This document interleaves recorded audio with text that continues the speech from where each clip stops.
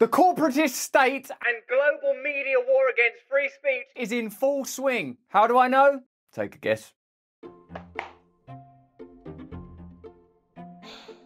So Russell Brand has been in the news lately, and if you haven't thought about him since his divorce from Katy Perry, you might have missed his um transformation. You might remember Brand as a left-wing comedian who got famous in the 2010s for saying things like None of us can be happy as long as any of us are treated with discrimination. He billed himself as an anti-establishment, anti-corporate free thinker. You talk vaguely about revolution. What is it? A socialist egalitarian system based on the massive redistribution of wealth, heavy taxation of corporations. He would go viral for having all of these ridiculous fights with Fox News hosts. Strive to be fair. Strive to be fair. When The Guardian named him as one of the heroes of 2014, they described him as the best thing that's happened to the left in years. When they say conservative, what are they trying to conserve, actually? It's hatred. But 2023 Russell Brand has a slightly different vibe. New footage appears to show that January the 6th was not an attempted insurrection. There's only eight of us. How can this be a thorough clinical trial? Election interference in the Clinton campaign. Over the past few years, Brand has become a right wing darling. He hosts a daily live stream where he regularly features right wing reactionaries like Ben Shapiro, Jordan Peterson, Candace Owens, and Tucker Carlson. Have you got everything you need? Can I offer you I've any more my- snacks, nicotine, I've gum? He's become a major peddler of conspiracies about everything from vaccines to the war in Ukraine to the Clinton body count. A statistically high number of people that have taken unusual decisions after knowing the Clintons. And he's become buddy buddy with the same right wing news outlets that he used to condemn. So we are honored to have him with us. He's the host of Stay Free with Russell Brand on Rum- Rumble. It's like, why did this happen? How did we go from this left wing commie scum named Russell Brand. to this? I'm super excited. I'm welcoming Russell Brand to the show. Yes. If we want to understand Brand's radicalization, we need to understand his YouTube channel. It's been around for over a decade and it's had like three different eras. God, I want to make a Taylor Swift joke here, but like, I don't even want to do her dirty with that association. Thank you. First, the lefty era. Hmm? Oh, sorry, I didn't see you there. I was reading. You wouldn't get it. In 2014, Russell launched The Trews, a political commentary web series that focused on criticizing right wing media. He publishes episodes comparing Fox News to ISIS and Nazis and accusing them of fueling the war on drugs. ISIS is a fanatical religious terrorist organization. So's Fox News. He starts The Trews alongside publishing his book Revolution, in which he advocates for a nonviolent social revolution against capitalism. Let me know what you think. His YouTube show really reflects that anti establishment, anti corporate persona, producing these boilerplate left wing takes that really worked for me and other 18 year olds on Reddit. He asked questions like Is capitalism a religion? How can we stop Islamophobia? Would a president with a vagina make a difference? Should you be paid as much as your boss? And these videos do pretty well, usually around 100,000 to 300,000 views, but they're not exactly viral, in part because they're kind of heady. Fear is just a thing we've got to travel through. Brand invites a bunch of left wing thinkers to have these messy, complicated conversations about economics and revolution and the dangers of celebrity culture. It's all good, but it's kind of inaccessible. Now, how do we build communities around those values? Talk to me about decentralized autonomous communities and how they could work and what the hell that means. In one interview, Brand is talking about how the media uses fear tactics to scare people and pivots to reading philosophy about how humans are too afraid of dying. The subject of death, says Ram Dass, is a topic most of us would generally rather avoid. It's giving first date with a freshman philosophy major. And Brand dabbles more and more in this high mindedness until eventually we get to era two.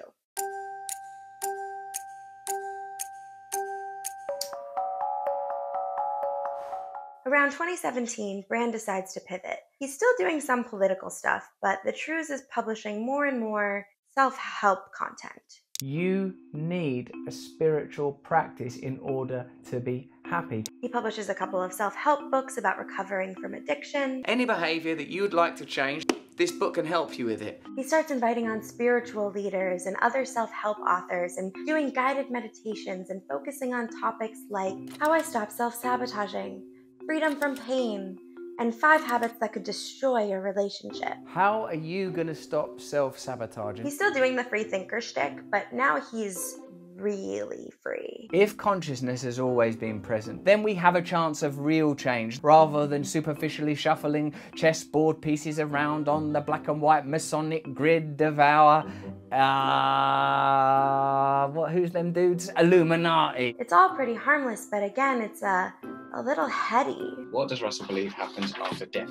Well, my best guess is based somewhat on ideas of panpsychism. The views on these videos are even worse than his lefty content. A lot of it doesn't even break 100k, and it ends up being some of the worst performing content on his channel. But then, something happens. Near the end of 2020, Brand is posting his typical content How Money Corrupts Us, 42,000 views. How to Panic Less, 63,000 views. Can Loneliness Destroy You, 86,000 views. Then he publishes COVID Vaccines Skepticism or Trust, a video where he raises doubts over the safety of COVID vaccines. Any of you that want to have unshakable faith in the emergence of these vaccines, do not Google Pfizer scandal. And that gets over a million views. And the commenters are thrilled. Have to be honest, never used to be a fan of this guy, but this channel's actually awesome. I don't know how I've gone this long and just found Russell's YouTube channel. I've never been a fan of Russell, but he makes some intelligent points here. And Brand goes back to his normal content. Save yourself by saving others, 37,000 views. Annie Lennox on how it feels to be an entertainer, 80,000 views. Is the pandemic being used to mask a wealth and power transfer? 1.5 million views. And the commenters are eating it up. I have a renewed respect and admiration for this man. Why am I so late in realizing that this guy is utterly brilliant? New fan here. Brand quickly realizes that his conspiracy content gets way more engagement than his self help stuff. So at the end of 2020, it's time for another rebrand, baby! Woo!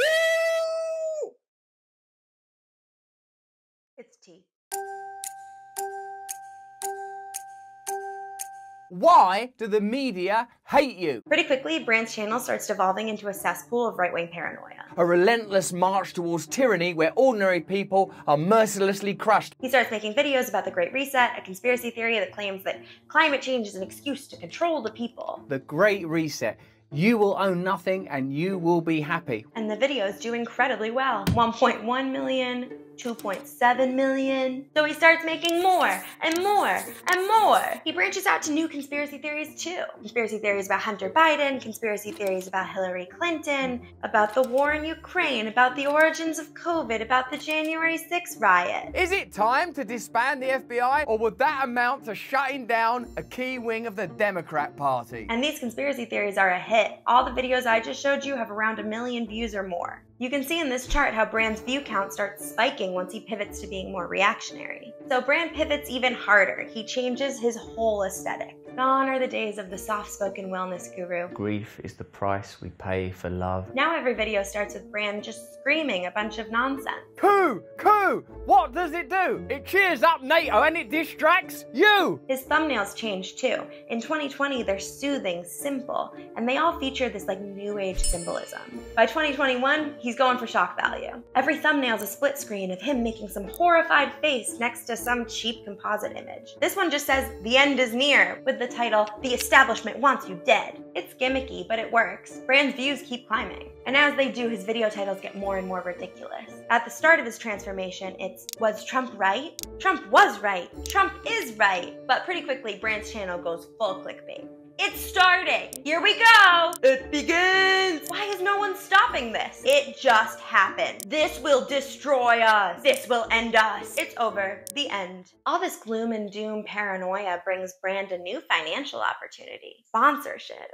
In 2021, Brand's videos start including advertisements for supplements. The world's first probiotic to support gut, brain, and immune health. And God knows you need good natural immunity these days. Right, kids? Greens powders. Field of Greens is a science backed formula of specific fruits and vegetables you won't find in any other product. And gold. There is a way to secure your hard-earned nest egg. American Hartford Gold make it easy to protect your savings and retirement accounts with physical gold. And Brand isn't doing this alone. He starts inviting more and more right-wing guests onto his show. In 2021, he interviews Ben Shapiro and it becomes one of his most viewed videos of all time. Shapiro invites Brand on his show, you know, you scratch my back, I scratch yours. Russell, thanks so much for joining the show. It's great to talk to you. Wow, man, you do a good job of this. Thanks, Ben. His new shtick gets him invited on other shows too. He goes on Joe Rogan to complain about the Democrats. I don't think that they are creating an agenda to advance the interests of vulnerable people. He goes on Bill Maher to complain about MSNBC. I've been on that MSNBC, mate. It was propaganda. And then in 2023, he goes on Fox News, the network he has spent his career criticizing. Not as a critic, but as a hero. Russell Brand has been an actor, a comedian, a podcast host for decades. All of a sudden, he's one of the most forceful voices for the truth in the English speaking world. So, what happened here? Is it possible that Russell Brand genuinely had a radical change of heart and mind in less than a year? Maybe? I mean, I'm not in his brain, thank God. But there's a simpler explanation for what's happening here. Call it grift drift. See, the problem with the kind of free thinking that Russell was doing in his lefty era is that it's hard to sell. Sure, Brand can complain about Fox News and talk about how the media sensationalizes things to keep us watching, but like, then what? How many times can you tell people they need to focus on more serious issues like environmental justice or antitrust laws or possible alternatives to capitalism? Like, oh my god, it's so boring. There's no story arc, there's no heroes and villains, there's no sex. And more importantly, there's no reason to keep coming back. If the problem is that corporate media sensationalizes things, then why not turn it off? You could just stop watching Fox, go outside, touch grass, call your mom, tell her you love her, find a stranger, give him a kiss consensually, start a religion, I don't know. What's the point in watching Brand make the same argument over and over and over again? In his self proclaimed last episode of The Trews, even Brand admitted that he was bored of making these same free thinking arguments about the media. How far can you go with this cyclical r- reporting on cyclical news? So then, what is Brand really selling? What's Brand's brand? Do people really want to watch a washed up comedian explain how money corrupts us or how we need a global revolution against corporate power? Obviously not. Turns out free thinking is hard to monetize. Can't be good, can it, to spend all this time, our eyes resting on screens, people on the other side of the screen, hiding, trying to sell us something. The more people can actually think for themselves, the less they need carnival barkers like Brand to tell them what's what. And that's bad for engagement. Conspiracy theories give grifters like Brand a way to keep making money. First, you scare your audience. Globalist agenda, the relationship between governments, big business, and a corrupt media are able to crush any dissent. Then you keep them loyal. Only I can be trusted because everyone else is lying to you. You have to find figures, like me, that you trust in media and get your information from them. Brand's videos will often hammer this message home with titles like, We predicted this, and We saw this coming, and We knew it. And then, once you've got them loyal to you, you charge them. Give me money so I can keep exposing the truth.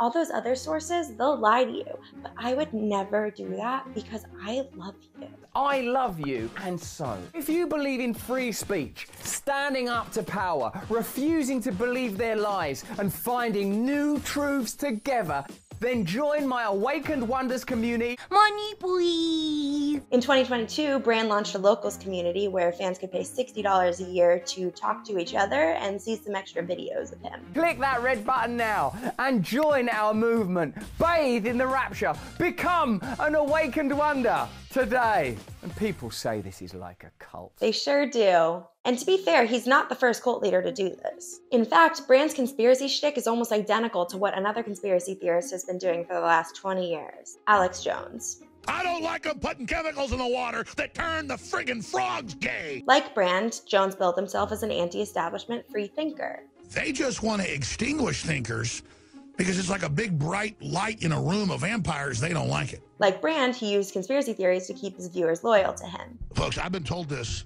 by high up folks. They say, listen, Obama and Hillary both smell like sulfur. And like Brand, he used that loyalty to make money, selling everything from nutritional supplements to doomsday prep supplies. It's an investment in freedom and fighting the globalists, and we need the funds desperately. At one point in 2018, Jones's show was making $800,000 a day. Do you have any idea how much $800,000 a day is? I don't. Like, what is that number?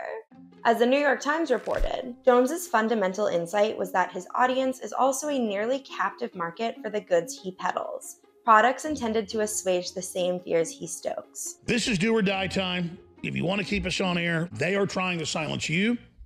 They're trying to take down the leading voice of Resistance? But while Jones and Brand may be using the same shtick, there's one big difference between them. See, Alex Jones had to build his conspiracy empire from the ground up. Well, I can assure you, I don't make any money off public access. In 1999, Jones got fired from his local radio station for being a wacko, and he had to start broadcasting his radio show independently from his own house. Anytime he dabbled in conspiracy theories, he'd get yeeted by a bunch of radio stations, making it harder to reach new audiences. He was a fringe outlier, and it took him decades in obscurity before he got enough attention to break into the mainstream. But now, we're in the golden age of grifters, baby. Thanks to YouTube, Brand was making an estimated 2,000 to $4,000 per video posting every day. That's up to $1.46 million a year in YouTube alone. At the end of 2022, Brand used his YouTube channel to announce he was moving to Rumble, a right wing video platform that's riddled with QAnon and anti vax conspiracy theorists. We have had to move to Rumble to assure that we are not censored further. We would prefer you joined us on Rumble. He got an exclusive deal with Rumble, producing a show called Stay Free, which is ironic considering how often he uses it to beg for money. We need you with us now more than ever. Brand is airing his comedy special, Brandemic, directly on Locals, which is a crowdfunding site for free speech proponents who've been banned from Patreon that's owned by, oh, would you look at that, Rumble. And while he still posts on YouTube, he mainly uses it to steer fans towards platforms where he can charge them money. If conspiracy theorists can keep some form of presence on a mainstream platform, they will, because they understand that the purpose of that is to reach new audiences. They will use alt tech platforms for more extreme content, speaking to a harder audience. Join us on Rumble every single day. This is the new reality of the free thinking grift economy. Conspiracy theorists like Alex Jones used to have to worry about going too far and losing access to mainstream platforms, but now they don't need them. Like Brand Jones is now broadcasting a show on Rumble. Joe Rogan has the biggest podcast on Spotify. Tucker Carlson gets millions of views on Twitter. And there are dozens of popular conspiracy theory channels on YouTube. These grifters are constantly cross pollinating. Tucker goes on Brand's show, then Brand goes on Rogan, then Rogan goes on Jones, and Jones uses his show to direct his viewers back to Tucker. We're very, very proud of you, Tucker, and your team, and we salute you. It's a circuit of conspiracy grifters all going on each other's platforms so they can sell their viewers merch and subscriptions. So many of Alex Jones's ideas have entered into the mainstream. He's a brilliant person to talk to. He's an extraordinary man. Brand isn't a free thinker. He's a performer who is adapting his act to whatever he thinks will make him the most money. And now that there's an entire conspiracy economy to profit off, he won't be the last. Oh man, maybe it really is over.